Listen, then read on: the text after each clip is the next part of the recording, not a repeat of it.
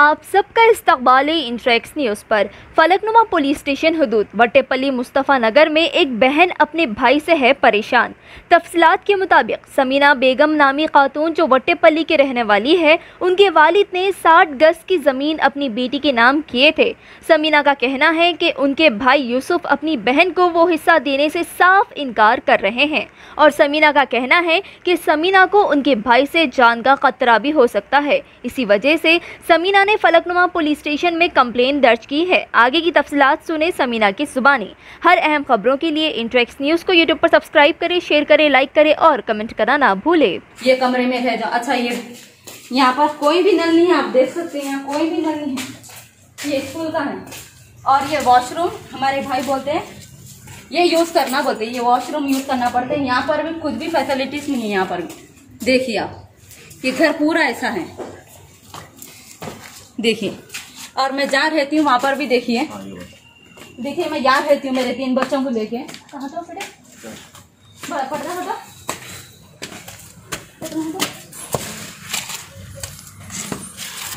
देखिए ये भी घर की कंडीशन ये वॉशरूम का दरवाज़ा टूट गया हमारा। ये ये वॉशरूम पूरा खाली कर दो बोल रहे हैं? यहाँ यहाँ अंदर भी आ, आ सकते हैं। ये देखिए ये कमरा मेरे हिस्से में आता। ये पूरा सामान उठाओ, नहीं तो फेंक दो ये पूरा ये हटा दो तुम्हारा सामान। ये और एक रूम है यहाँ पर मेरा। और यहाँ तक आ रहा मेरा।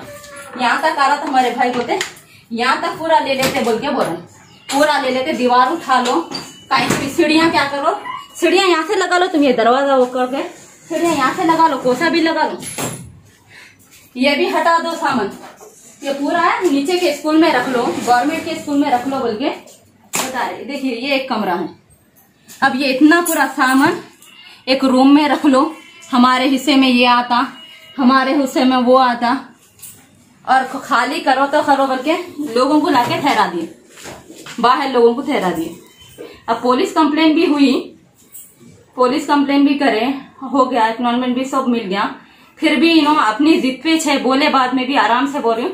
वक्त दियो, एक पाँच महीने का मेरे को टाइम दे दो, फिर मैं खाली कर देता हूँ, मैं पूरे घर खाली, पूरे घर पे आप रह जाओ, खाली मेरे को पाँच महीने का टाइम दे दो बोल के बोल रही हूँ मैं समीना बेगम हूँ, और मेरे एरिया वटापल्ली मुस्तफ़ा नगर लगता मेरे को मैं वहाँ से बोल रही हूँ कि भाई मेरा हिस्सा ये आ रहा तो हमारे भाया टॉर्चर करके अर्जेंटली घर खाली करो, ये घर उनकी आप देख लो कंडीशन सही नहीं है, ये मेरे बच्चे हैं और एक बेटी छोटी बेटी है मेरे को तीन बच्चे हैं और मैं सिंगल मदर हूँ। कि मेरे को ऐसे ऐसे टॉर्चर ना कर रहे हमारे भाई वक्त थोड़ा तो भी मेरे को टाइम दे दो। दे दो मैं चले जाती हूँ यहाँ से बोले तो भी ज़ोर ज़बरदस्ती कर रहे हैं रोज का एक टॉर्चर देते बहुत परेशान कर दिए। आप अपना मैं न्यूज़ के ज़रिए मेरी बात रख रही आप मेरी मदद करें।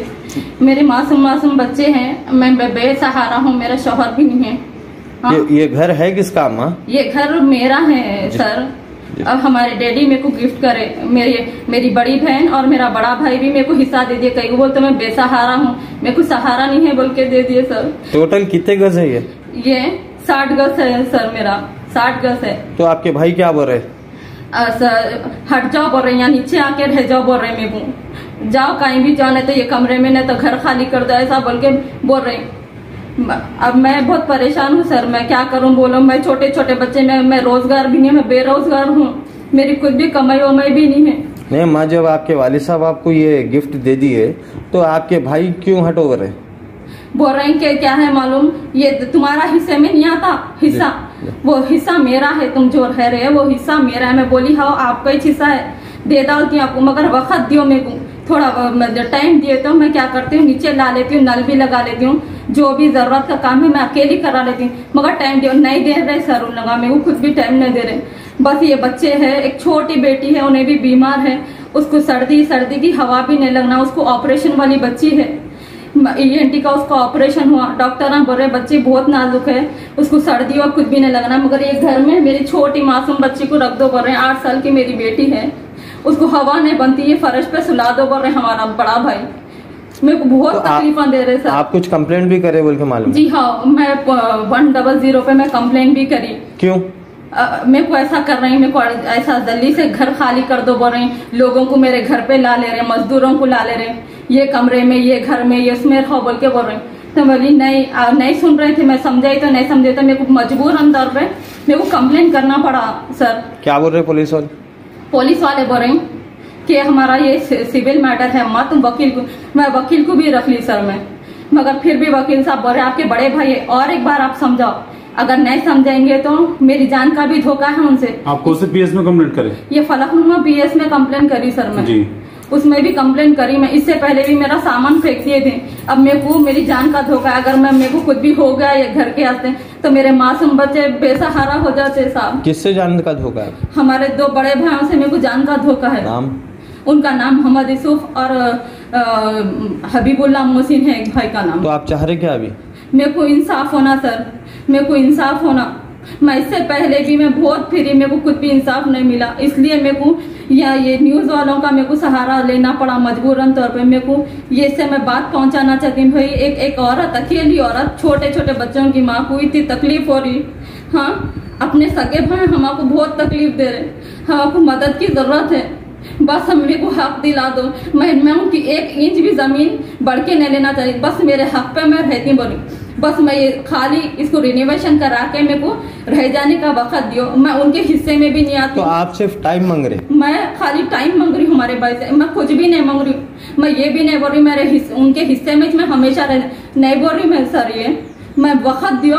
मैं ये थोड़ा रिनोवेशन करा लेके मेरी ज़रूरत के हिसाब से करा के मैं नल लाइट का इंतज़ाम कर लेगा। उतना वक्त दियो हमारे भाई को बोल रही हूँ, सर, मैं। वॉशरूम के आते टाइम दियो बोल रही मैं। जरा हमारा जरा सब जने मेरी मदद करो। एक मजलूम औरत की मदद करो, साहब। Subscribe now and press the bell icon never miss an update.